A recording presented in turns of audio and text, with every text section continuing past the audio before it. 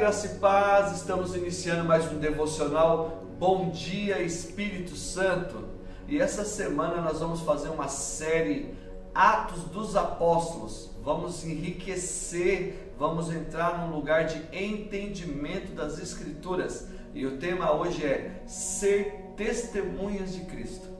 Olha só, Atos capítulo 1, versículo 8, diz as Escrituras: Mas recebereis a virtude do Espírito que há de vir sobre vós, e ser-me-eis testemunhas, tanto em Jerusalém como em toda a Judéia, Samaria, até os confins da terra.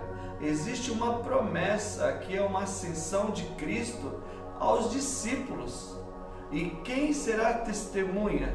Todos aqueles que recebem o Espírito Santo vós sois testemunhas do Cristo. E ser testemunha é renunciar muitas vezes, ser testemunha é dar ouvidos, estar atento aos sinais, estar refletindo e pensando nas Escrituras, meditando dia e noite.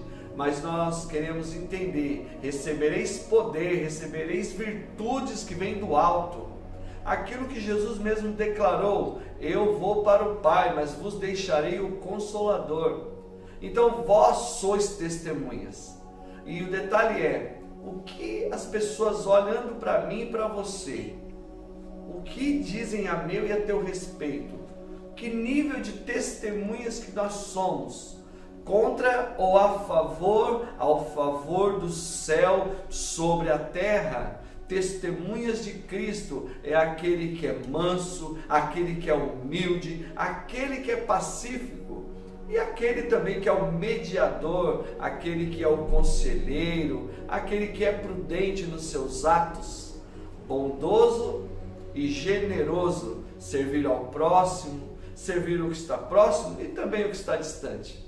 Ser testemunha de Cristo é cuidar no falar, e você poderia pensar junto comigo, diante de todas as adversidades, os momentos que estamos vivendo, você consegue pensar até que ponto e qual é o teu nível de ser testemunha de Cristo?